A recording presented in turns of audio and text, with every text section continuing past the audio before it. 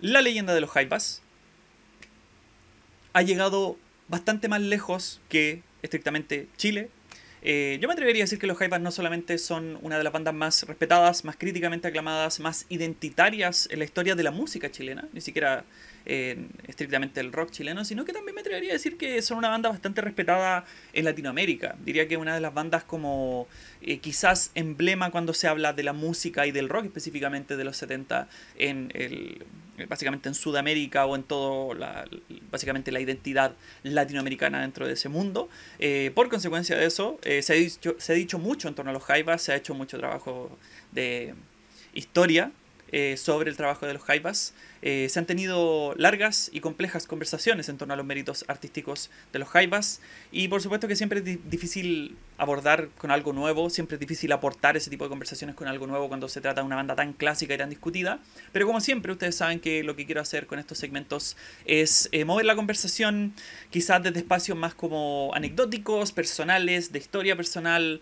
de eh, en el fondo detalles específicos a una perspectiva un poco más histórica eh, de la historia de la música contemporánea y eh, abordando la, discografía de los Jaivas desde ese tipo de perspectivas.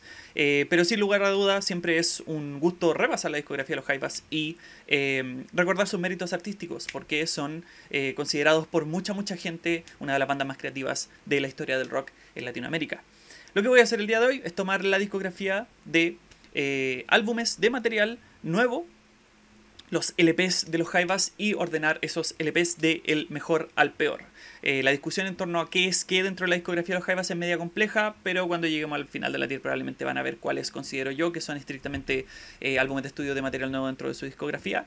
Eh, antes de comenzar, por supuesto, me gustaría recordarles que los proyectos, los artistas, los básicamente la gente de la que hablo dentro del segmento del mejor al peor, no decido yo personalmente, sino que se deciden a través de votaciones en la sección de comunidad. Si que están viendo este video en diferido, como video individual de YouTube, les recomendaría que fueran a la sección de comunidad a ver si está ocurriendo una votación ahora mismo. Y, sin más preámbulo, vamos a abordar esta discografía de Los Jaivas, que por supuesto parte con un álbum que es bastante diferente a lo que uno relaciona normalmente con el sonido clásico de Los Jaivas, y ese álbum es por supuesto el primer homónimo de Los Jaivas, conocido coloquialmente como El Volantín. Los primeros tres álbumes de los Jaivas son homónimos, se separan o, básicamente se identifican por sus portadas. Este primer álbum, El Volantín, de 1971, es un disco bastante particular, muy muy muy diferente al sonido que uno relaciona con, el, con los Jaivas, al sonido que uno relaciona con básicamente la historia de los Jaivas y los aportes que hicieron para la historia del rock en Chile y Latinoamérica, porque este ni siquiera es un álbum de rock, es un álbum derechamente de folk. De hecho, si tuviéramos que, que en fondo atribuirle características a este álbum, yo diría que es un álbum de folk de corte más experimental, eh, más desafiante. Eh, los Jaivas aquí son muy distintos a lo que uno recuerda en general en álbumes clásicos un poquito más adelante dentro de su discografía. Lo que tenemos acá es una agrupación bastante particular que tiene como una misión, eh, básicamente esta idea de tomar el folk, tomar la instrumentación folk, la filosofía del folclore y básicamente hacer una, una, aproximación experimental y desafiante mezclando los aspectos más como excéntricos del mundo del folk con derechamente eh, en el fondo influencia y elementos culturales de eh, las culturas originarias, específicamente las culturas andinas. Es un álbum muy muy especial, muy particular, no hay muchos álbumes a lo largo de la historia del folk que tengan este perfil. Em, eh, en términos de, de, su misión artística, y por eso es un disco bastante memorable a mi parecer. Es un álbum que tiene más de algún problema, es un disco bastante iracundo, desordenado, realmente un poco admirable, incluso la, la forma en la que los Jaivas dentro de este primer momento de su discografía realmente como que rechazan nociones como escritura de canción, orden, coherencia, pero yo me atrevería a decir incluso que en lo iracundo y experimental que es este álbum se muestra igual una mínima prudencia musical de alguna otra manera. Lo que tenemos acá son estas canciones que muchas veces están construidas a través de eh, no necesariamente improvisación propiamente tal, pero ciertamente llameo. Sobre todo dentro de la primera mitad de este álbum, lo que tenemos es quizá un motivo rítmico, quizás una idea melódica suelta, no particularmente concreta, y repetición. Repetición constante, muchas veces como que los jaivas en este sentido bastante iracundo van a añadir intensidad, van, a añadir quizás un que otro groove más proveniente de culturas originarias, y realmente este disco es bastante desafiante.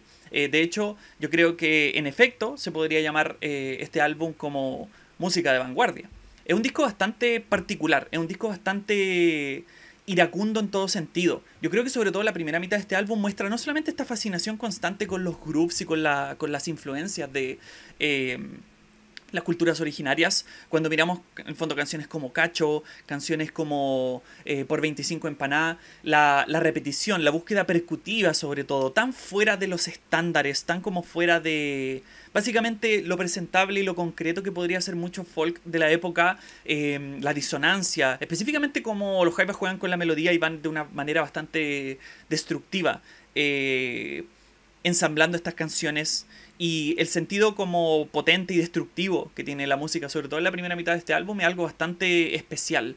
Eh, a pesar de que tiene muchas de esas características la primera mitad de este álbum, yo me atrevería a decir que incluso lo desordenado que es este disco tiene una identidad marcada, sobre todo de mitades. Yo creo que la segunda mitad de este álbum, por ejemplo, eh, tiene un sentido de melodía más sofisticado, sofisticado no sé si será la palabra así como ideal, pero ciertamente más claro, más legible.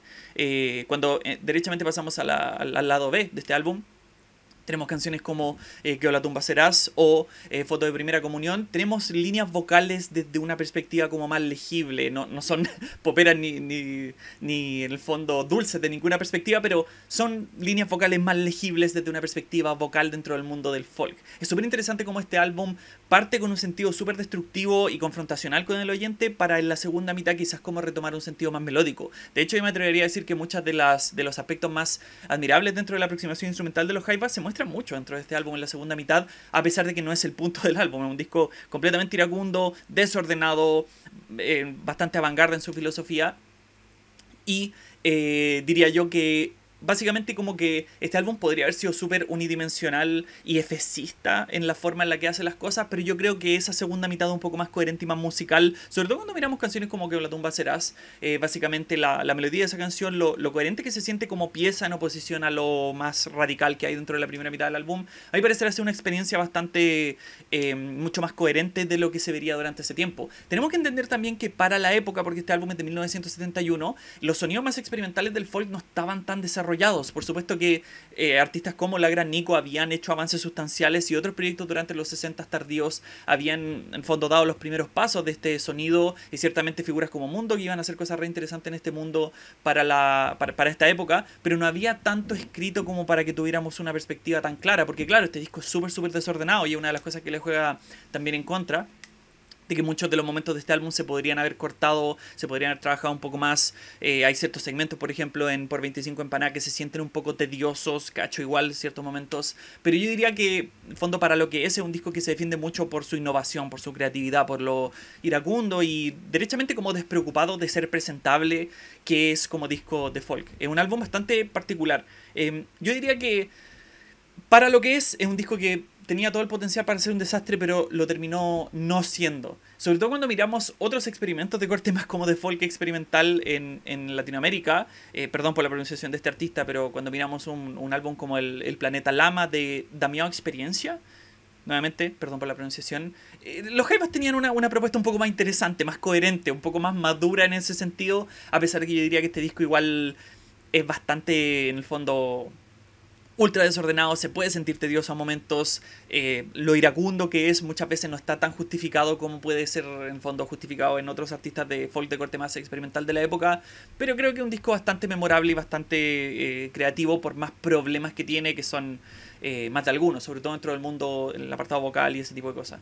A mi parecer, el Volantino es un fuerte 7. Para un disco de folk de corte más experimental de la época, un álbum altamente memorable, a pesar de que no creo que sea lo mejor de la época, porque nuevamente los artistas que mencioné ciertamente estaban haciendo música un poco más coherente, más eh, madura en términos de su experimentación eh, y ese tipo de cosas. Desde este álbum empezamos a eh, sumergirnos dentro de la discografía de Los Jaivas y el segundo álbum de Los Jaivas, su segundo homónimo, coloquialmente conocido como La Ventana, es un disco que yo diría no es como tan tan diferente al álbum anterior, no es como día y noche la diferencia, de hecho yo diría que este álbum básicamente sigue siendo un disco de folk de alguna u otra manera, pero es un álbum que cambia mucho la filosofía de Los Jaivas al hacer música. A lo que me refiero con esto es que mientras que este álbum en el fondo intenta suceder a un disco completamente desordenado, iracundo y muy como desafiante y, y antagónico con el oyente, los Jaivas dentro de este álbum se ponen muchísimo más prudentes en términos musicales, eh, muchísimo más melódicos y la madurez que tienen al momento de componer, de performar y de pensar el álbum es, mucho más grande, un salto bastante grande en términos de la propuesta de los em, en relación al álbum anterior. Algo que quiero mencionar inmediatamente antes de continuar dentro de este álbum es que este es uno de los discos, a mi parecer, cuyo tracklist ha sido más mutilado a lo largo de la historia de la música chilena. Porque hay un sinfín de reediciones de La Ventana y muchas de esas reediciones cambian un montón el tracklist del álbum. Eh, muchos de los discos de los Jaivas más tempranos tienen canciones extra al momento de escucharlos en streaming y de comprar la reedición en vinilo, pero este álbum no solamente tiene canciones extras, tiene un tracklist completamente distinto en muchas de las ediciones que ustedes pueden escuchar en streaming hoy en día.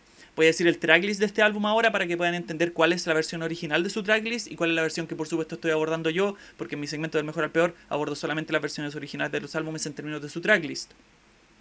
Este álbum, track por track, marcha al interior del espíritu, eh, Mira Niñita, todos juntos, La Quebralají, Ciclo Vital, Los Caminos se abren y termina con El Pasillo del Cóndor. Ese es el tracklist original de este álbum. Ahora pueden revisar la versión streaming para que vean lo distinta que es. Solamente una aclaración que quería hacer porque, nuevamente, yo creo que pocos álbumes en la historia de la música chilena tienen tracklists tan cambiados en relación a sus reediciones. Lo que están haciendo los Jaivas dentro de este álbum es bastante particular. De hecho, yo diría que la primera mitad de este álbum es bastante radical en términos de cómo se diferencia de lo que estaban haciendo los Jaivas anteriormente. No solamente los Jaivas están siendo mucho más melódicos, están trabajando los arreglos de una forma mucho más madura, sino que están haciendo estas fusiones bastante particulares. Yo diría que mucho de este álbum sigue siendo folk, pero es un folk mucho más, en el fondo, apacible, mucho más atractivo en términos de melodía y Junto con eso yo creo que tanto el trabajo musical dentro de este álbum como los aspectos más como de música popular propiamente tal, ya sea como los anzuelos, las líneas vocales y ese tipo de cosas, tienen un nivel de, de, trabajo absolutamente espectacular que desde este momento básicamente empezamos a entender los Jaivas como el proyecto bastante aclamado que terminaron siendo. Este es como uno de los primeros momentos más explosivos en ese sentido, porque básicamente lo que tenemos dentro de este álbum son estas canciones bastante folqueras, bastante en el fondo acústicas, con unos arreglos bastante bien pensados, coloridos, frondosos muchas veces, pero eh, ese sentido instrumental en el, que, en el cual se sumergen muchas de las canciones dentro de la primera mitad de este álbum no en el fondo no se siente tedioso ni palidece en comparación a su melodía de carácter atractivo porque las melodías que están haciendo los Jaivas acá, sobre todo dentro de la primera mitad de este álbum, son absolutamente espectaculares. Una canción como Mira Niñita, por ejemplo, no solamente es una canción con una potencia emocional gigantesca, es una canción que además de eso y tener un coro muy memorable, eh, se sumerge en este aspecto instrumental y básicamente es una canción de 7 minutos súper, en el fondo, autorresuelta, súper bien planteada, tremendamente intrincada en ese sentido. Lo mismo diría una canción como Todos Juntos, que es mucho más enérgica, mucho más física, ciertamente como el groove y la persistencia del ritmo dentro de esa canción es una de las cosas más atractivas y por supuesto el sentido multitudinario, identitario que intenta expresar la canción es algo bastante especial y en el fondo no es coincidencia que sea una de las canciones más populares de la historia de la música chilena, al igual que Miranita. Son bastante particulares canciones porque siento que lo que están haciendo los Jaivas dentro de específicamente esas dos canciones en la primera mitad de este álbum no es solamente una mezcla en el fondo muy efectiva de una musicalidad muy grande, el estilo de guitarra del Gato Quinta empieza a brillar de una forma espectacular dentro de este álbum, las líneas de bajo son increíbles, la percusión es súper activa, sino que eh, son canciones tan bien escritas, tan bien pensadas, súper cerebrales de alguna otra manera, que mezclan elementos melódicos, por supuesto, eh, en menor medida eh, viniendo de culturas originarias de los Andes y estas, básicamente estas melodías, toda esta mezcla tan, tan efectiva, tan creativa, tan efervescente. Eh, para mí esas dos canciones no solamente son como de lo mejor de lo que se hizo en Chile durante la época, para mí esas canciones son de lo mejor que se ha hecho en Chile en términos de toda la historia de nuestra música. Eh, y dentro de la primera mitad de este álbum también hay otras canciones como La Quebrada la G, donde la, en el fondo la banda está jugando con otros grooves, con otros ritmos de una forma bastante interesante. Es bastante curioso este álbum porque yo creo que la primera mitad de este álbum es absolutamente espectacular, es de las mejores cosas que han ocurrido en la, en la historia de, de la música en Chile. Pero la segunda mitad de este álbum es bastante diferente. No creo que sea, en el fondo, considerablemente inferior a lo que se está ofreciendo dentro de la primera mitad, sobre todo considerando que este es un disco básicamente de folk de la época. Eh, sino que la aproximación que tiene la banda para pensar el álbum, que se veía en menor manera en el álbum anterior, está desarrollada de una forma mucho más grande. La segunda mitad de este álbum es bastante más cerebral, bastante más paciente, bastante más instrumental. Básicamente ese, ese sentido corero y las melodías atractivas que hay en Todo Junto Mira Niñita no están en la segunda mitad del álbum. Lo que tenemos son grooves, son ideas instrumentales, motivos rítmicos y melódicos desarrollados a través de canciones más o menos largas. Ciclo Vital la primera canción del lado B eh, dura 10 minutos y Los Caminos se abren, la segunda canción del lado B dura 9 minutos 40. Es increíble básicamente cómo los Jaivas en la segunda mitad de este álbum básicamente desarrollan su músculo instrumental y muestran un sentido tremendamente progresivo. Es genial como la forma en la que básicamente la química de la banda, el trabajo de piano, el trabajo de guitarra, eh, la percusión, la línea de bajo súper activas y bien pensadas, desarrollan estas canciones de una forma súper interesante y lo que tenemos es un álbum que, además de tener este perfil tremendamente creativo, muy único por sus influencias, por supuesto, y por su identidad, eh, tiene esta disposición de mitad y mitad súper bien pensada también, que por una parte tenemos un sentido muy melódico y atractivo y por otra parte en la segunda mitad tenemos algo mucho más cerebral y mucho más técnico. es bastante complicado mirar este álbum porque es un disco bastante especial para la época. Por supuesto que habían en el fondo artistas de folk que estaban mezclando muchos de estos aspectos de una forma tremendamente creativa. Yo creo que este disco, por ejemplo, es comparable de alguna otra manera con el First Utterance de Comus. Em, pero yo diría que incluso en Latinoamérica habían otros artistas con la misma motivación, haciendo cosas igual o, más creativas. El homónimo de Exuma, por ejemplo, a mí me parece un álbum inmediatamente memorable para comparar con este álbum porque de alguna otra manera el sentido como eh, en el fondo etéreo, con soundplay del folk que están intentando hacer eh, los Jaivas eh, mezclándolo con sonidos propios de su cultura, lo estaba haciendo Exuma de, de, la misma manera. Es un disco que es un poco difícil de juzgar, pero en el fondo creo de una forma bastante mm, eh, honesta que para lo que es este álbum es un disco tremendamente creativo, por más que uno podría hacer el caso que la segunda mitad como propuesta no tiene un sentido tan como atractivo y efervescente y espectacular y inmediatamente memorable e histórico como puede tener la primera mitad del álbum. Para mí este álbum es en el fondo difícilmente como una obra maestra, pero un álbum tan memorable, tan creativo, tan único en su época que difícilmente lo veo como menos que un 9. A mi parecer un Devil 9, eh, el, el, segundo homónimo de los Jaivas, La Ventana. Y por supuesto con eso llegamos a eh, el tercer homónimo de los Jaivas, conocido de forma coloquial como El Indio, un disco que es una transición súper grande para la discografía de los Jaivas. Eh, no solamente dentro de este álbum los Jaivas empiezan a dejar eh, el sentido más folk, la instrumentación más acústica en general, a pesar de que no la desechan del todo, sino que básicamente hacen que eso deje de ser el centro de su música, se ponen muchísimo más rockeros los Jaivas dentro del el Indio, pero eh, a pesar de que esto puede ser un poco antiintuitivo, a pesar de que se ponen más rockeros propiamente tal, y este es un disco de rock con todas sus letras, los Jaivas abrazan aún más sus influencias de culturas originarias. Lo que hacen acá eh, los Jaivas es básicamente este híbrido difícilmente igualado a lo largo de la historia del rock entre la intensidad, el sentido sobre todo cerebral y sofisticado del rock progresivo de la época, estamos hablando de la época de oro, el rock progresivo después de todo, con una mezcla sustancial, orgánica, tremendamente respetuosa y creativa em, de los elementos de culturas originarias, específicamente de, en el fondo, sonidos provenientes de culturas que ocupan el espacio que hoy en día conocemos como Bolivia, por ejemplo, los Andes en general. Este álbum es muy especial, es una de las cosas más especiales que han ocurrido en la historia del rock en Latinoamérica, a mi parecer, y tiene que ver con que es un álbum que básicamente cumple con dos aspectos muy precisos. Uno es una prudencia musical tremendamente proguera y un sentido increíble, admirable en términos composicionales, performativos y básicamente de pensar un álbum.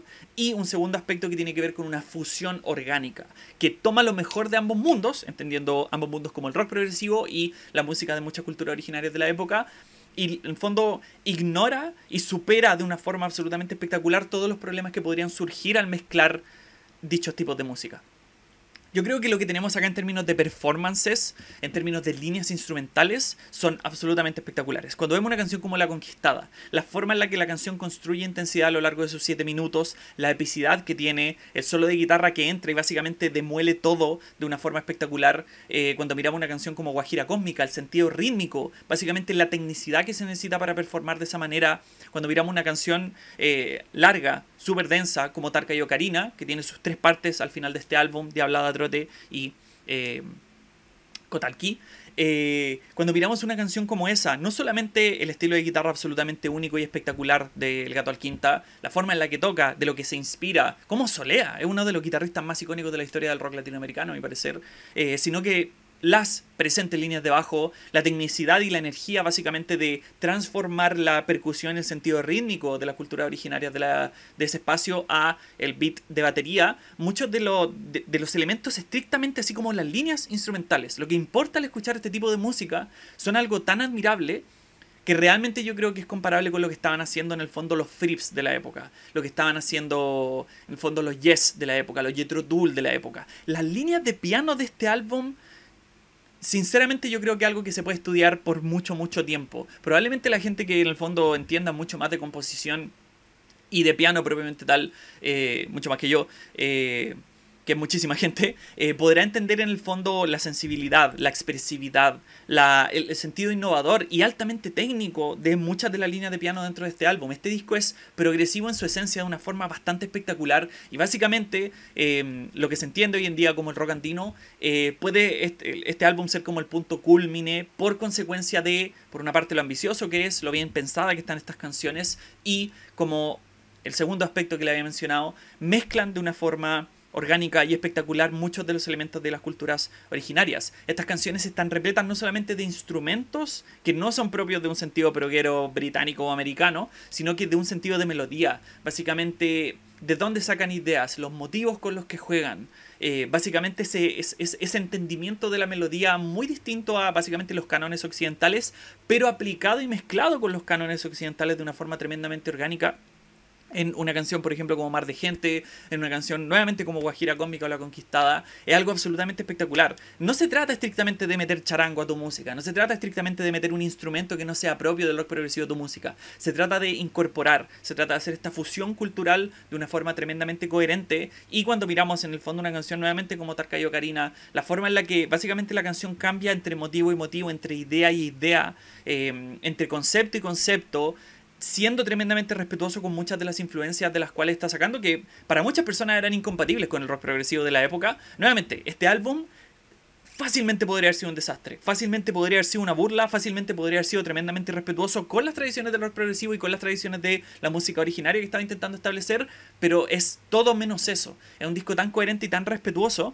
que además de eso tiene una potencia emocional en muchos momentos, tiene unos no sé si será así como los coro accesibles del mundo rock progresivo, pero sobre todo las líneas vocales dentro de este álbum están muy bien ganadas, a mi parecer. El hecho de que una canción como La Conquistada tenga momentos tan breves dentro del apartado vocal, pero tan bien pensados, básicamente como incorporando un, lenguaje más eh, podría hablar de este disco todo el día. Es uno de los discos más influyentes de la historia del, rock latinoamericano por buenas razones. Porque por supuesto que habían otras bandas haciendo esto. Tenemos que entender que, claro, en el fondo otros proyectos de la época como Guara, por ejemplo, estaban mezclando el rock progresivo con los elementos andinos de una forma espectacular. Y otra banda muy muy respetable de esa época, proyectos como Arcoiris, básicamente mezclando el lado más folk con los sentidos más eh, propios de las culturas originarias pero difícilmente alguien como los Jaivas. Es por eso que para mí este álbum es comparable con lo que estaba haciendo Yes durante la época de King Crimson, porque la, ambición, en el fondo, no solamente la tecnicidad, sino que la ambición artística, la misión artística en la que se embarcan los Jaivas dentro de este álbum, a mi parecer, es difícil de comparar hasta el día de hoy. Em, sinceramente creo que este es uno de los mejores discos de la historia de la música latinoamericana. A mi parecer es un sólido fuerte 10 eh, el indio y por supuesto que nuevamente no eran los Jaivas los únicos los que estaban haciendo esto durante este momento pero yo creo que este es un, punto culmine de ambición en la historia del género y uno de los álbumes más admirables dentro del mundo del rock progresivo de los 70, que era un mundo gigantesco si es que ustedes saben su historia del rock progresivo.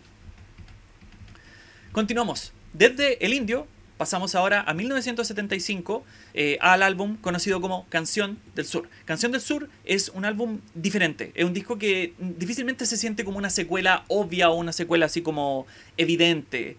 Eh, de El Indio. Es un álbum que de alguna otra manera abraza mucho también sonidos del Ventana, de alguna otra manera me gustaría decir, porque eh, es un álbum que es bastante folk en su esencia. Tiene mucho del rock andino del álbum anterior, por supuesto. Eh, hubiese sido una muy mala idea no continuar muchos de esos sonidos siendo de los más creativos del rock para la época en Chile. Eh, pero es un álbum que intenta como devolver a los hypes a esa época del Ventana. Un álbum mucho más folk, un álbum mucho más, en el fondo, recatado en muchos de sus aspectos, más simple en algunos, en algunos de, sobre todo en aspectos más como de sonido, pero es un álbum que lleva mucho de la creatividad de, de, de los hypes. Me atrevería a decir que este es mi disco favorito de los hypes porque es un disco que de alguna otra manera es como gran, gran parte de las ideas del álbum anterior junto con gran parte de las ideas del Ventana, por supuesto con una maduración mucho más evidente. Eh, este álbum en particular, a mi parecer, está marcado por hacer este choque, ¿no? Así como esta dialéctica entre el sonido más folk de los Jaivas y el sonido más rockero de los Jaivas. Em, dentro de este álbum tenemos canciones muy, muy folkeras, que ciertamente podrían haber estado en la ventana. La cumbre de un cerro, por ejemplo, Canción para los pájaros, Dum Dum Tambora. Pero también tenemos canciones que podrían haber estado en el tracklist derechamente del indio. Canción del Sur es mi canción favorita dentro de la discografía de los Jaivas. Y es una canción que tiene ese sentido rockero 100% a pesar de que es una canción que no es tan en el fondo eléctrica como se le podría denominar. Este álbum tiene de los momentos más memorables de la discografía de los Jaivas 100%. Cuando miramos una canción como La vida mágica y sí, en el fondo la melodía de esa canción, lo bien trabajada que está, básicamente ese sentido orgánico. Una de las cosas más geniales de este álbum es la producción, 100%. Eh, cómo está tratado el piano, cómo están tratadas las cuerdas. Se nota que en el álbum anterior los Jaivas querían trabajar como la guitarra, el tono del bajo y ese tipo de cosas, pero dentro de este álbum siguen en el fondo construyendo básicamente el sonido del piano y cómo se puede aportar desde esa perspectiva.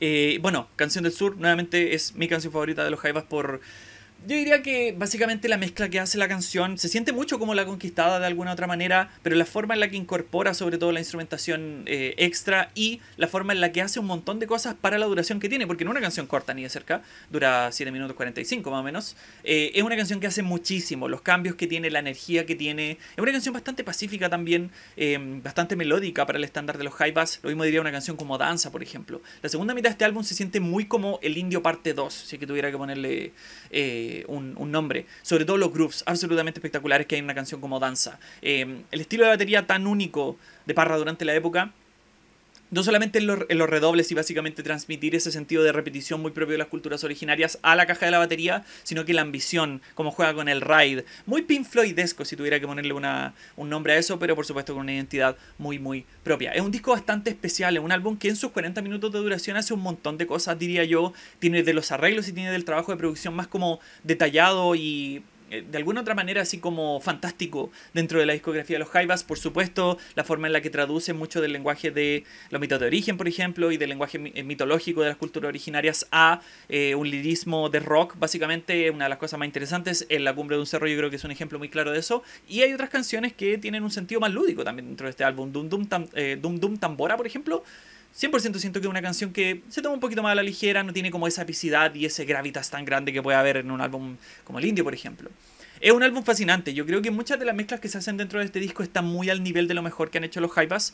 Eh, 100% un, es un álbum que continúa la, la, época de oro de los Jaivas. Pero siento que es un disco que muchas veces, porque intenta como hacer como esta cofradía de los sonidos con los que han jugado los Jaivas hasta este momento, o al menos de los sonidos de los últimos dos álbumes, eh, se crea como una disparidad. Eh, yo creo que este álbum, de alguna otra manera, es un disco que se puede decir tiene una segunda mitad más fuerte que la primera. Específicamente siento que una canción como Canción para los pájaros eh, quizás podría haberse sacado dentro de este tracklist por el sentido más ambiental que tiene, por el sentido transicional que tiene cuando Dum Dum Tambora es una canción que tiene muchas esas características, ese sentido repetitivo, por ejemplo, que tiene la canción, jugar con ese motivo de una forma tan como incesante. Eh, siento que suple mucho el lugar de canción para los pájaros dentro de este tracklist, eh, viniendo después de esa canción, y yo creo que básicamente como cuando escuchamos este álbum, se crea como este impasse, se crea como este, este, este breve mm, eh, cambio de relieve, como una, bajada de velocidad eh, y, de, un sentido orgánico y de flujo dentro del álbum, que probablemente si no estuviera ahí sería mejor el disco de alguna otra manera.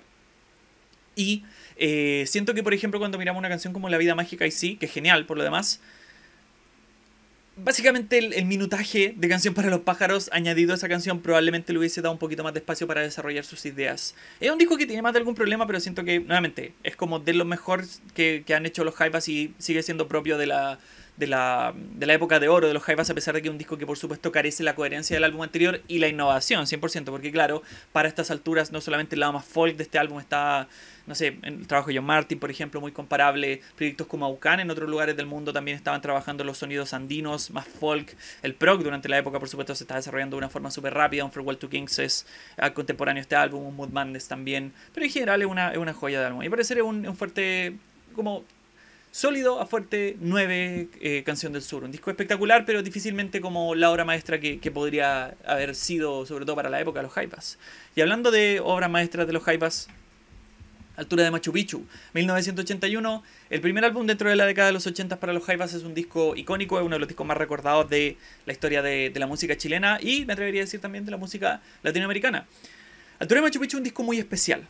No solamente una de las cosas menos importantes, uno podría decir, pero a mi parecer igual propias de ser eh, recordadas. Los Jaivas transicionan hacia, hacia los 80 con muchísima más gracia que otros proyectos clásicos del prog de los 70. Recordemos, por ejemplo, un Love Beach de Emerson Lake and Palmer. Manteniendo mucho su esencia, manteniendo mucho su creatividad, escapando del sentido efecista y un poco superficial que agarraron muchas bandas de prog clásicas al transicionar a los 80, sino que lo más importante es que lo que tenemos acá es otra, básicamente como una secuela al indio en términos de, la búsqueda artística. Este disco, al igual que el indio, mezcla de una forma impecable, eh, fascinante, muchos de los sonidos eh, progueros, ambiciosos, musicalmente mm, eh, dotados y elegantes de la época, con sonidos más de culturas originarias. Lo especial de este álbum es que, a pesar de que es básicamente como una secuela de la filosofía del indio, es un disco que se siente muy moderno para la época, entendiendo moderno como contemporáneo. A lo que me refiero con esto es que la producción de este álbum es absolutamente espectacular. El tratamiento de los teclados y Básicamente la forma en la que los Jaivas toman sintetizadores y eh, básicamente maquinaria más contemporánea de la época, sin perder su esencia, sin perder su identidad y por supuesto sin sentirse como ochenteros propiamente tal, es una de las cosas más memorables de la producción de este álbum. Muchas bandas de rock progresivo al transicionar a los 80 perdían su identidad, básicamente se sumergían y, eh, entregaban su sonido a la contemporaneidad, pero los Jaivas eran mucho más prudentes en ese sentido, como que tomaban los elementos de, la tecnología ochentera que necesitaban para potenciar su propuesta en lugar de vender su propuesta a ese sonido ochentero. Los, básicamente todos los teclados, todo el trabajo de teclado, tanto de piano como de sintetizador dentro de este álbum, son absolutamente espectaculares y logran darle un sentido como lustroso y moderno, teniendo bueno como contemporáneo, al sonido de los Jaivas sin vender su esencia a lo que sería así como mucho de los sonidos más pop rockeros de los 80. Increíble eso. Junto con eso, este álbum tiene una. Por supuesto, un aspecto lírico muy particular. Este álbum, eh, el lirismo dentro de este álbum, la letra de este álbum no es letra escrita por los Jaivas, sino que son poemas de Pablo Neruda, el aclamado, influyente e histórico poeta de la historia de Chile. Eh, básicamente lo que hay acá es una colección de muchos de los trabajos de muchas de las ideas que tenía Neruda y eh, ordenadas, performadas y eh, dispuestas dentro de un álbum para tener este sentido orgánico. Como pueden inferir, este álbum se inspira mucho de la imaginería, de la geografía, de la... De alguna otra manera como la, el espacio de la cultura de Machu Picchu, específicamente de eh, la cultura inca, eh, de alguna otra manera. Y ese sentido, en el fondo, por supuesto, tremendamente evocativo, fantástico, que golpea la imaginación constantemente, está muy, eh, en el fondo, acompañado por la fusión de los hypas. No solamente dentro de este álbum tenemos canciones como, eh, en el fondo, La Poderosa Muerte, una canción gigantesca, ambiciosa, con unas líneas instrumentales absolutamente espectaculares, con una... básicamente con un lápiz para escribir canción tan orgánico, tan satisfactorio, eh, junto con otras canciones como Águila Sideral, que tiene un sentido mucho más moderno, detallado, en, colorido para la, fórmula de los Jaivas. Em, y tenemos que entender también que este álbum, además de esas piezas como ambiciosas, súper intrincadas, sobre todo en términos rítmicos, densas, progresivas propiamente tal, este álbum también tiene canciones que uno podría apelar, son como canciones más solitarias, ¿no? Suben a ser conmigo hermano, es una de las mejores cosas que han ocurrido en la historia de la música chilena. No solamente una canción que tiene esta, esta rítmica constante, tan, tan marcada, em, básicamente como, como la canción toma los grooves, podríamos decir, y el sentido eh, rítmico del joropo, es, ese, sonido persistente, implacable, eh, sino que la línea de bajo súper presente, el sonido de guitarra absolutamente espectacular del Gato al Quinta, como siempre, sino que una canción tan melódica, una canción tan, en el fondo, eh, accesible, con un coro tan memorable y por supuesto con un poema profundamente político, 100% para la época y para el trabajo en general de, Neruda. Eh, este álbum constantemente va desde canción como ambiciosa y densa, proguera, a canción más melódica y más directa, y la forma en la que en el fondo se hace como este vaivén, ¿no? Poderosa Muerte, Amor Americano, Antigua América, Suben a ser conmigo hermano, hace que este álbum sea una de las cosas como más ambiciosas que hicieron los Jaivas hasta el, hasta el momento y ciertamente se siente como una secuela muy digna de, lo histórico que fue el indio. Y cuando tomamos todo esto, cuando tomamos esta joya de álbum, este, esta explosión creativa de álbum, y nos damos cuenta que no es un disco particularmente largo, que básicamente los Jaivas estaban haciendo lo que hacían otras bandas en horas en hora y cuarto. Los Jaivas lo hacían así como en 40 minutos, menos de 40 minutos. Habla no solamente de la creatividad y de la, por supuesto, la, el, genio, el fulgor en el que estaban incendiados los Jaivas durante esta época, sino de, su prudencia. Eran modestos los Jaivas. Podían hacer de la música más creativa de la historia del rock, pero también podían hacer eso en menos de 40 minutos. Y eso es una de las cosas más memorables, a mi parecer, de este, de este álbum. Es un disco que ciertamente se siente como otra de los mejores álbumes dentro de este sonido, porque claro, otras bandas también como Horizonte, por ejemplo, están haciendo cosas re interesantes con este sonido. Grupo Agua, profundamente memorable. Y ni hablar del prog de la época, bandas como Saga haciendo cosas bien creativas. Pero nuevamente, este es un disco que tiene un perfil muy único, que tiene una, una identidad muy única y que es nuevamente de las cosas más interesantes que se han hecho dentro de la música latinoamericana. A parecer es un sólido 10 eh, altura de Machu Picchu. Otra obra maestra dentro del, del increíble catálogo de los Jaivas. Continuamos. Aconcagua, siguiente álbum desde Altura de Machu Picchu, es un álbum que viene bastante rápido. Mientras que Altura de Machu Picchu salió el 81, inmediatamente los Jaivas se arremeten con Aconcagua. Es un álbum bastante memorable, es un álbum que tiene un perfil muy distinto. Es un álbum que tiene una, búsqueda que de alguna otra manera es más o menos consciente de que los Jaivas no querían hacer Altura de Machu Picchu de nuevo. Em, pero yo me atrevería a decir que eh, incluso con lo apresurado que se siente este álbum, incluso con lo rápido que salió y con lo coherente, o sea, con lo más bien como lo consciente que es en términos de intentar hacer algo distinto, es un disco tremendamente memorable dentro de la discografía de los Jaivas. Este álbum en general, yo creo que está marcado por dos cosas. Uno, es un disco que tiene una estructuración muy distinta a gran parte de los álbumes de los Jaivas. Y dos, es. No sé si diría es, pero puede ser el disco más rítmicamente interesante dentro de la discografía de los Jaivas. A lo que me refiero con esto es que este disco es enérgico, es un disco prendido, es un disco potente, es un disco tremendamente rockero de alguna otra manera cuando miramos muchos de sus cortes, sobre todo la segunda mitad. No solamente eh, hay, una, hay una presencia muy grande de la guitarra eléctrica en la segunda mitad de este álbum, cuando miramos, no sé, canciones como Corre que te pillo, por ejemplo, una de las mejores canciones dentro de la discografía de los Jaivas. Básicamente como los Jaivas empiezan a tomar sonidos provenientes, por supuesto, han jugado con el joropo anteriormente, eh, en este caso Taikiari también, los ritmos constantes, el, el, groove, ¿no? Así como la repetición rítmica con, con el que arremete mucho de este álbum.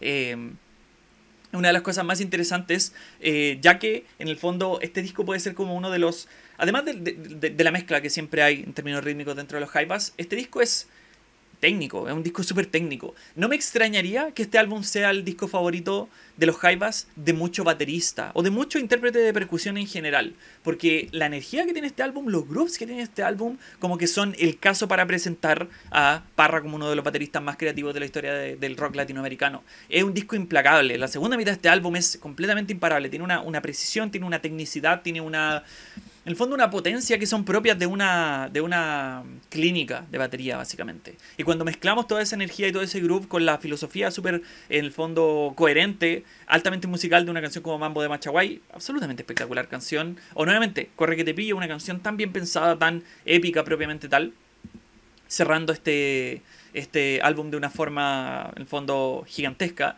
Este álbum ciertamente tiene su identidad, es uno de los discos como más... Eh, preciso de los hype, así como es un disco que sabe lo que viene a hacer y es un disco que, hace eso de una forma bastante, en el fondo, prolija, me gustaría decir. Eso sí, a pesar de que este disco, sobre todo en la segunda mitad, tiene una, propuesta fascinante y ciertamente un disco muy digno de suceder a altura de Machu Picchu, la primera mitad de este álbum es, a mi parecer es como complicada. Tiene ideas súper interesantes. Por ejemplo, Aconcagua es una canción que tiene mucha de la filosofía de eh, Altura de Machu Picchu, una canción bastante épica, súper bien ganada, súper bien lograda en general. Eh, en el fondo es una canción que, conlleva mucho del espíritu de los grandes como himnos progueros de la discografía de, de los Jaivas y básicamente la aplica dentro de este álbum. Pero también es una canción que se siente un poco breve para lo que está intentando hacer. Yo creo que esa canción le podría haber dado sus dos o tres minutos más y probablemente se sentiría un poco más holgada, un poco más desarrollada. Eh, y este álbum también está marcado por, en fondo, no, sé si llamaría experimentos, pero aproximaciones distintas. Una canción como Debajo de las higueras, por ejemplo, es una canción que se siente muy como La Ventana, bastante melódica, bastante folquera a momentos, desde un barrial también, a pesar de que es una canción muy emocionalmente potente, siento que es bastante memorable.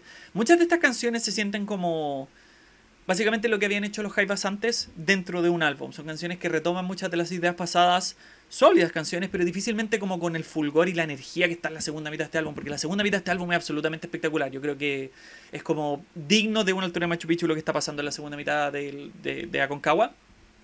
Y eh, siento que muchas de las canciones de la primera mitad como que se sienten un poco tímidas. Ciertamente los Jaivas podrían haber hecho más en términos de las capas, en términos de los voces, entendiendo voces como arreglos, en términos de la, la filosofía al momento de abordar estas canciones y eso no, no, pasa en la segunda mitad. La segunda mitad de este álbum está completamente holgada, completamente desarrollada. A mi parecer no se le queda ninguna idea en el bolsillo a la segunda mitad de Aconcagua, pero muchas ideas se quedan en el bolsillo en la primera. Eh, yo creo que las canciones más evidentes en ese sentido son Aconcagua y Debajo de las Higueras. Entonces lo que tenemos es un disco memorable, 100%, pero difícilmente al nivel de lo, de lo más grande dentro de la discografía de, lo, de los Jaivas. Eh, si es que pensamos así como mezclas, sobre todo para comparando la primera mitad de este álbum con mezclas más folk y sonidos propios de otras culturas. Fausto lo que estaba haciendo, por ejemplo, durante esta época, o si que lo tomamos estrictamente como prog, la segunda mitad de este álbum, Eloy también está haciendo cosas más interesantes. Entonces, lo que pasa con este álbum, siento yo, es que es un disco tremendamente memorable, con una identidad muy marcada, pero carece de la coherencia y del fulgor completo que tenían muchos de los mejores álbumes dentro de la discografía de los Hypas. Es un genial álbum, es una joya de álbum, ciertamente la segunda mitad de este álbum tiene de, de mis momentos favoritos la discografía de los Hypas, pero difícilmente es como la obra de los Hypas, a mi parecer.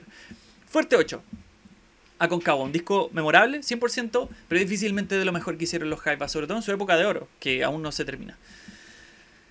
Y la época de oro de los Jaivas termina con Obras de Violeta Parra.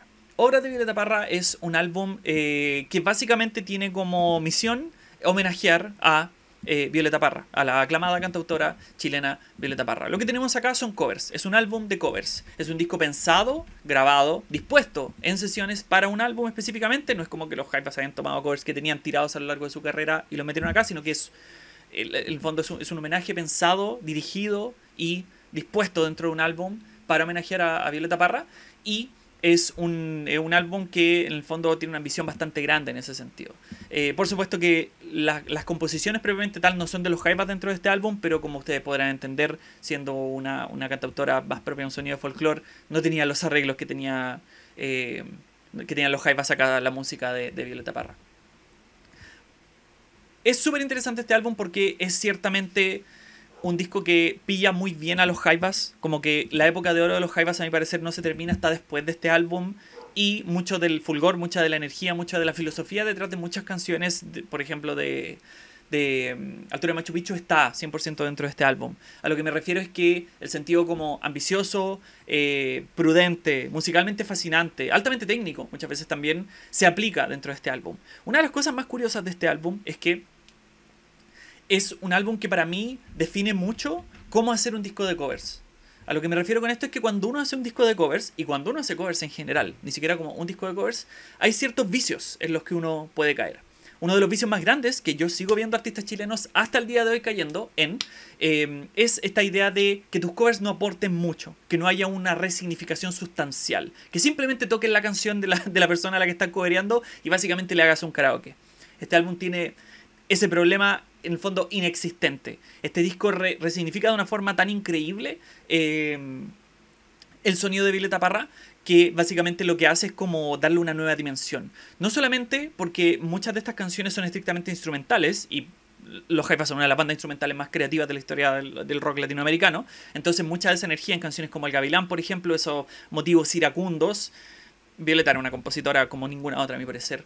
Eh, aplicados a un sentido más rockero, cuando miramos una canción como Un río de sangre, Lo gigante, que es el, el sentido vocal también que tiene canciones como Run Run se fue para el norte, en el fondo el, el, el sentido eh, desgarrador, pero aplicado a una, una, visión musical mucho más grande. El Guillatón, una canción que es bastante particular y que básicamente los Jaivas la vuelven muy propia de ellos a través de sus arreglos y sobre todo su trabajo de, de, teclado propiamente tal.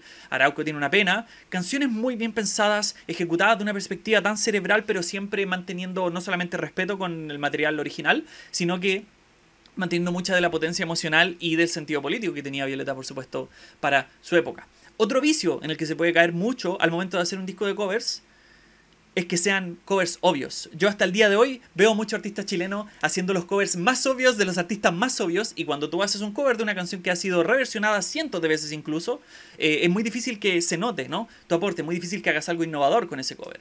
Y los Jaivas tienen ese problema nuevamente para nada. No solamente hay muchas canciones que serían muy obvias del trabajo de Violeta Parra que no están aquí, sino que las canciones que toman los Jaivas, en el fondo no solamente el Gavilán, que es una de las canciones como más eclécticas y más como, no sé si se llamaría como B-side de, de la obra de Violeta Parra, pero no es particularmente la canción que el compadre con guitarra de palo intenta hacer usualmente como cover. Eh, sino que hay un balance muy bueno. Por supuesto que hay canciones muy obvias, como Arauco tiene una pena, por ejemplo, como Run Run se fue para el norte, pero el hecho de que Arriba quemando el sol, eh, Mañana me voy para el norte estén presentes dentro de este álbum, es básicamente una prueba de que los Jaivas tenían una fascinación gigantesca y el respeto que tenían era auténtico. No era como que los Jaivas estaban aquí para básicamente sacar el cheque y, y, hasta ahí nomás llegamos, ¿no? Como que los Jaivas tienen un conocimiento profundo, yo diría que más profundo que incluso muchos folcloristas, eh, del trabajo de eh, Violeta Parra y lo, querían representar de esa manera. Este disco es genial, es una joya de álbum, es una de las cosas como más eh, respetuosas que se ha hecho con el trabajo de eh, Violeta Parra hasta el momento, que es una artista que ha sido muy reversionada. Y yo creo que con la frase de que la mejor banda de la historia del rock en Chile en su mejor momento, haciendo un homenaje a la mejor cantautora de la historia de la música chilena, yo creo que le resume lo que está pasando acá, ¿no? Como que no hay tanto que discutir acá, es como un joya tras joya tras joya básicamente de cover. Yo creo que las únicas cosas que se podría criticar de esto es que, por supuesto, en el fondo los méritos artísticos de un disco de covers pueden ser complicados. No es tan simple. Eh, y mucho del sonido de los Jaivas durante la época lo estaban haciendo quizás de una forma un poco más como innovadora. Proyectos como Congreso, por ejemplo. Pájaros de Arcilla contemporáneo este álbum. Eh, pero en general yo creo que eso y básicamente el hecho de que para el final del álbum como que se va desinflando un poco este álbum. Por ejemplo, Violeta Ausente, joya de, canción, pero qué pena siente el alma. Siento que es una canción que se podría haber quizás movido o simplemente no haber reversionado dentro de este tracklist. Porque es un tracklist largo, un disco igual denso. Y yo creo que podría haber sido un poquito más celere en ese sentido. Recordemos que una de las virtudes de los Hypas no era solamente que eran de los músicos más creativos de la historia del, rock en Chile, sino que eran modestos y sabían hacer las cosas que hacían de una forma bastante breve. No así dentro de este álbum. Yo creo que fuera de esas críticas que se podrían hacer, para mí este álbum es como de lo mejor de, de álbumes de cover de los 80. Cuando miramos así como los mejores álbumes de covers de los 80.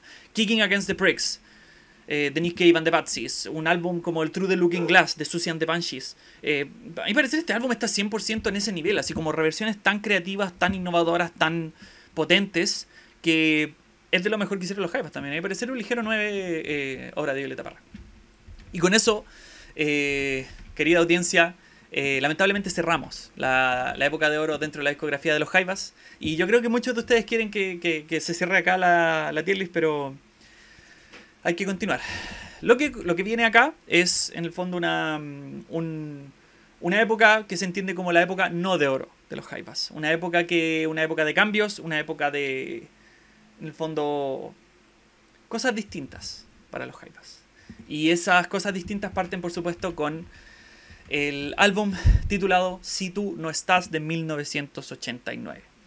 Una de las cosas más importantes que hay que mencionar acá es que, de una forma muy lamentable, la tragedia golpea a los Jaivas. El gran baterista Gabriel Parra eh, fallece en 1988 y este álbum es básicamente el álbum que viene después de su fallecimiento. Básicamente la banda intentando como reformar el proyecto, reemplazar a Gabriel Parra y hacer un álbum distinto.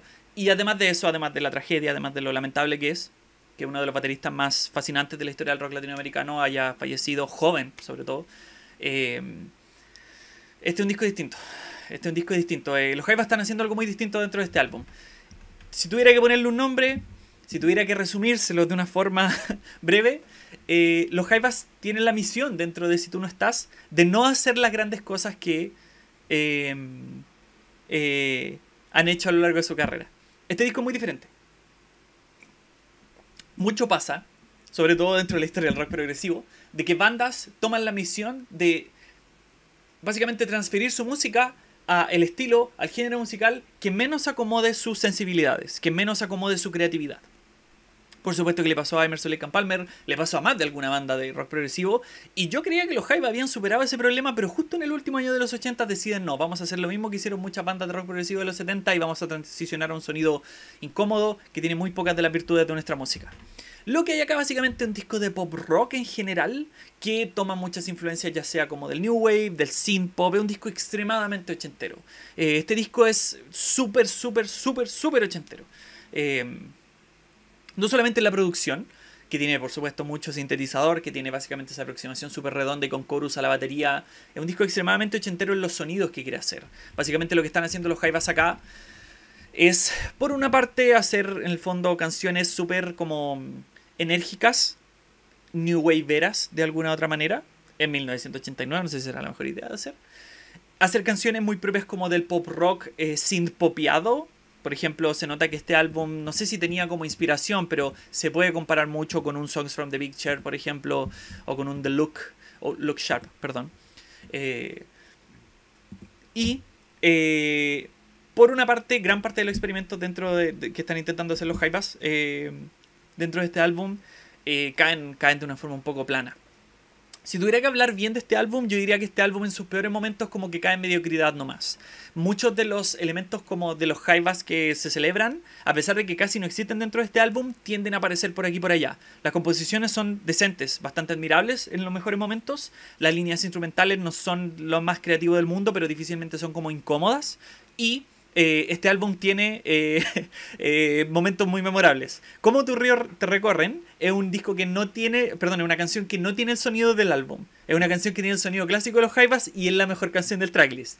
Cuando estás probando un nuevo sonido y la mejor canción dentro de tu álbum es la canción que no tiene ese nuevo sonido, es malas noticias. Porque gran parte de este álbum tiene este sonido súper, en el fondo, melódico, de canciones más breves, muy corero y muy romántico en general pero yo diría que lo que pasa con los Jaivas dentro de este álbum es que fallan mucho en traducir su creatividad, en traducir su esencia, su sentido de fusión dentro de la música, su sentido técnico y su sentido altamente cerebral, difícilmente aterrizan muy bien en Si tú no estás. Y lo que tenemos son básicamente los Jaivas bateando por bajo de sus eh, capacidades. Muchas de estas canciones son extremadamente simples, no en un sentido de género musical, sino que son tremendamente predecibles. Son canciones que básicamente uno podría imaginar si es que uno fuese a imaginar en su cabeza así como una transición de los Jaivas a un sonido que le pasó a muchas bandas del, del prog de los 70, eh, más popero y más ochentero. A pesar de que, no sé, canciones como Aguamarina, por ejemplo, canciones como Pájaro Errante, canciones como Niña Serrana, que básicamente una canción como muy sin popera, en donde los Jaivas igual están funcionando, diría yo.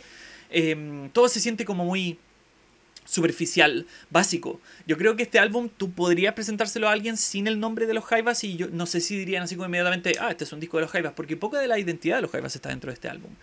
Y yo creo que lo peor, lo peor dentro de este álbum es la producción.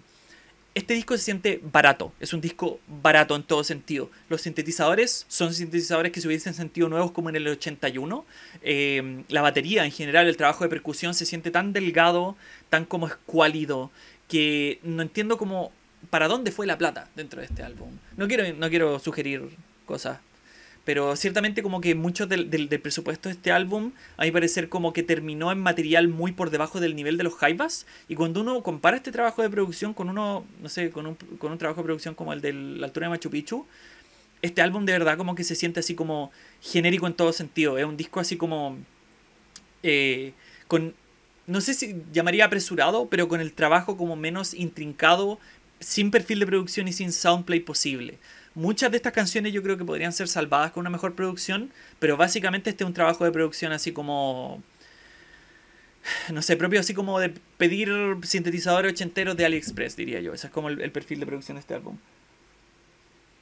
Y claro, hay canciones memorables, pero nuevamente, fuera de ciertos momentos que lamentablemente no son propios del sonido de este álbum, este es un disco completamente mediocre. Eh, no solamente considerando que en el fondo Big Chair, Look Sharp, lo que está haciendo Soda Stereo durante la época, que es muy similar a lo que están haciendo los Hype acá, mil veces mejor, con una producción mucho más intrincada también. Ahí parece que los Hype estaban como tan por debajo de su creatividad y es un disco como completamente forzado, difícilmente así como con sus cualidades memorables. A parece que si tú no estás es un débil 5. Lo peor que ofrece este álbum es como una mediocridad extrema, pero siento que difícilmente un disco así como horrible. Yo creo que llamar este disco así como de los peores discos de la historia de la música chilena y ese tipo de cosas que, la gente tiende a, sugerir usualmente, yo creo que es un poco exagerado. Es un disco entumecedor, pero difícilmente es como de lo peor que ha ocurrido en la, historia del, sobre todo del rock y la música chilena. Continuamos, siguiente álbum de estudio de material nuevo de los Jaivas, Hijos de la Tierra, 95. Avanzamos ya sus 6 años. Este álbum eh, está marcado por muchas cosas. Es un disco que, a mi parecer, eh, tiene dos, elementos centrales, muchas veces como opuestos. Uno es intentar redirigir el barco, redirigir la misión de los Jaivas a su sonido clásico. Y dos, eh, es un disco que igual está marcado por eh, no dejar ir de muchos de los problemas del álbum anterior. Es un disco un poco complicado en ese sentido. Cuando yo pienso así como en cosas memorables dentro de este álbum, 100% las hay. Una canción como Hijos de la Tierra, por ejemplo. Es básicamente una canción de los Jaivas y de su sonido de rock andino clásico eh, para los 90, ¿no? El, súper enérgico el beat de batería, el trabajo de guitarra absolutamente espectacular. El trabajo de sintetizador se siente un poco extra ochentero, pero siento que difícilmente como que derrota la, la idea dentro de la canción trabajos vocales absolutamente espectaculares. Nuevamente, una canción súper memorable. De hecho, me atrevería a decir que Hijos de la Tierra es una de las mejores canciones dentro de la discografía de los Jaivas post obra de Violeta Parra. Lo mismo diría una canción como Bosques Virginales. El trabajo de básicamente la, percusión, la línea de bajo, genial. Es una. Es una.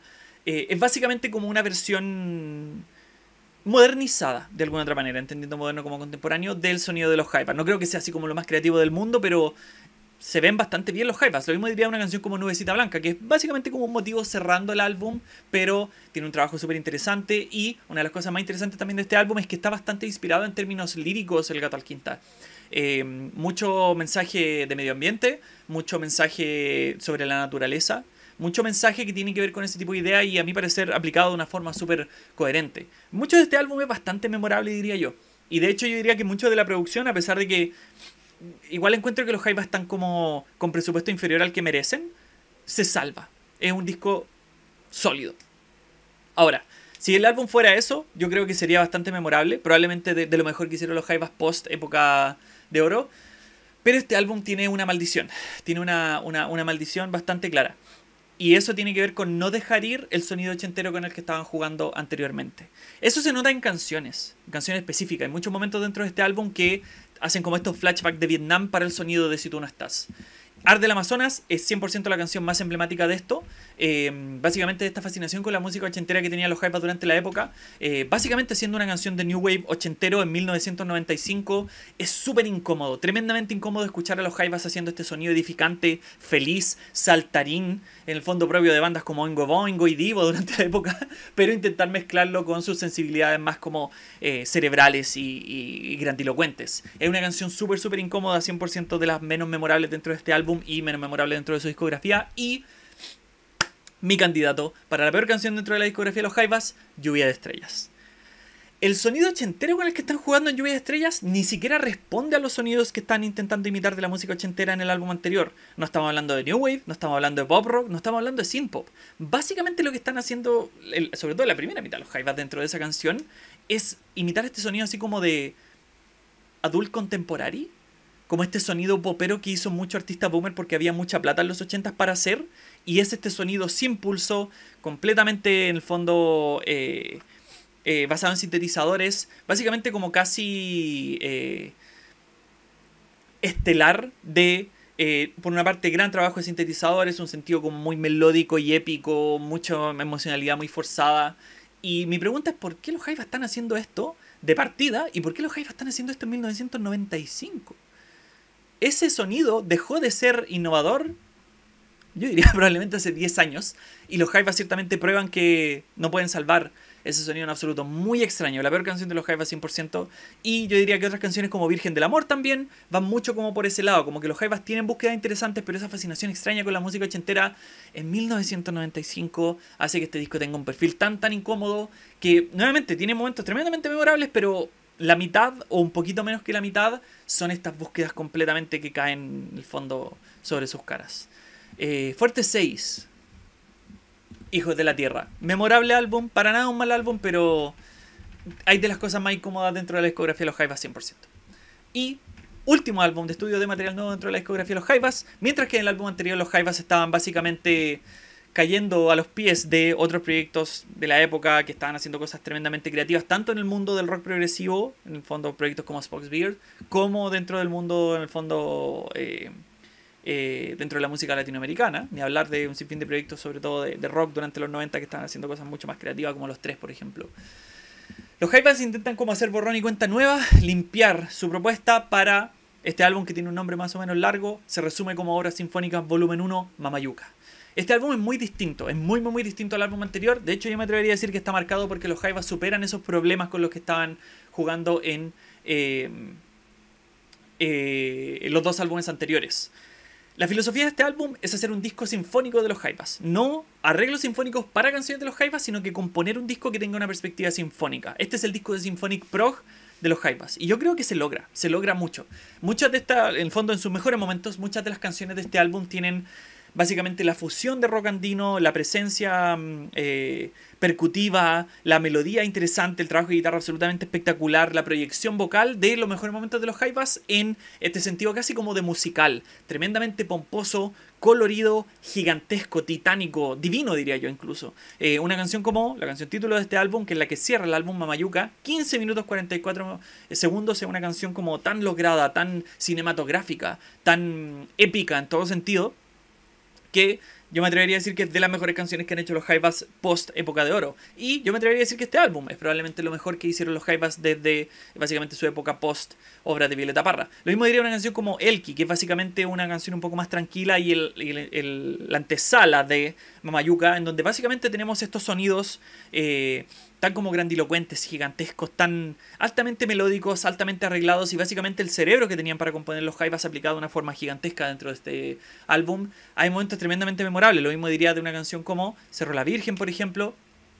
Más de alguna canción dentro de este álbum tiene básicamente la propuesta lograda, ¿no? Así como lo que querían hacer los Jaivas, darle el sentido sinfónico a su sonido, se sienten modernos, se sienten potentes, se sienten súper memorables. Otra cosa muy memorable dentro de este álbum es que hay unos momentos súper, súper rockeros canciones como Chasky, por ejemplo, tienen no solamente en el fondo la energía y el sentido guitarrero genial que siempre tienen los Jaivas, sino que líneas de batería potentes, súper enérgicas, súper gruberas, agresivas. Están rockeando de una forma espectacular los Jaivas dentro de este álbum y algo que también tiene mucho que ver con eso, el gato al quinta lo vende 100%. El gato al quinta está tan fascinado con este sonido, se la está jugando de una forma tan espectacular, no solamente como proyecta, 100% como que él evoca el lenguaje del musical en muchas de las líneas vocales dentro de este álbum, sino que enérgicas. Para la edad que tenía el gato al quinta durante esta época, yo creo que se está jugando 100%, se está reventando la garganta, está siendo un frontman como ningún otro. Además de eso, líricamente este álbum es fascinante. La forma en la que básicamente traduce mucho del lenguaje de los mitos de origen y el lenguaje mitológico de mucha cultura originaria, muy bien logrado.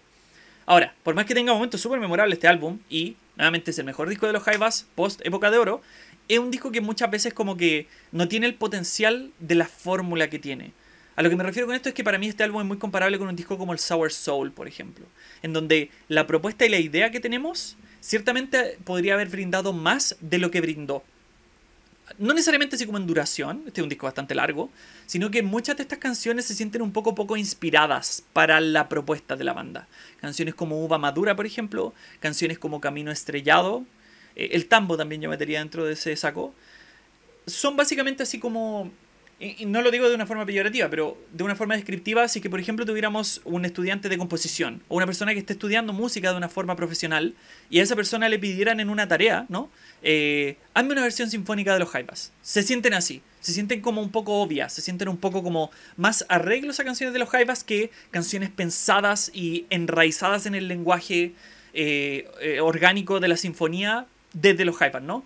Y yo creo que ese es un problema que no tienen canciones como Elki y Mamayuca, para nada. Entonces creo que hay una disparidad. De hecho, yo me atrevería a decir que este álbum, al igual que Kawa, es un álbum que tiene una segunda mitad más memorable que la primera.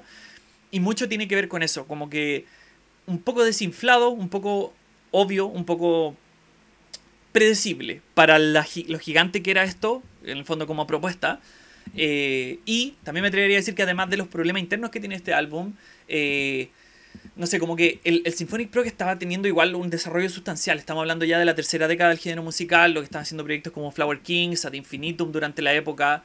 Y a pesar de que yo diría que durante el, el, esta época los Jaivas seguían siendo como la banda más grande y más, más relevante del mundo del rock andino, eh, mucho de este álbum se siente un poco desinflado. En el fondo, entiendo 100% por qué para los 2000 los grandes Flor de Loto terminaron básicamente tomando el lugar de los Jaivas dentro del mundo del rock andino gran banda por lo demás del Perú. Eh, porque básicamente los Jaivas durante esta época estaban así como en sus últimas. No necesariamente así como en un tema de ciclo vital, sino que se notaba que no había quizás tanta química, quizás como tanta energía. A pesar de que nuevamente este álbum tiene cosas muy, muy memorables. Y siento que para cerrar la discografía de estudio de material nuevo de los Jaivas es genial, altamente memorable. A mi parecer, Obra Sinfónica Volumen 1, Mamayuca, es un fuerte 7. Y con eso termino esta larga, larga tier list de los Jaivas en una larga discografía de una banda muy grande. Eh, los Jaivas, del mejor al peor, sería El Indio, Altura de Machu Picchu, Canción del Sur, La Ventana, Obras de Violeta Parra, Aconcagua, Obras Sinfónicas, Volumen 1, Mamayuca, El Volantín, Hijos de la Tierra y Si tú no estás. ¿Cuál sería su orden? Déjenlo en los comentarios y por supuesto que toca cerrar esta gran, gran tier list de la discografía de la mejor banda en la historia del rock en Chile. Cerrando esto, por supuesto, les recuerdo que los proyectos que abordo dentro de los segmentos del mejor al peor no los decido yo individualmente ni tampoco los tomo por sugerencia, sino que se deciden a través de votaciones en la sección de comunidad del canal. Así que si están viendo este video eh, diferido, les recomendaría que fueran a la sección de comunidad del canal para ver si está ocurriendo una votación ahí. Y con eso cierro esta larga tier list.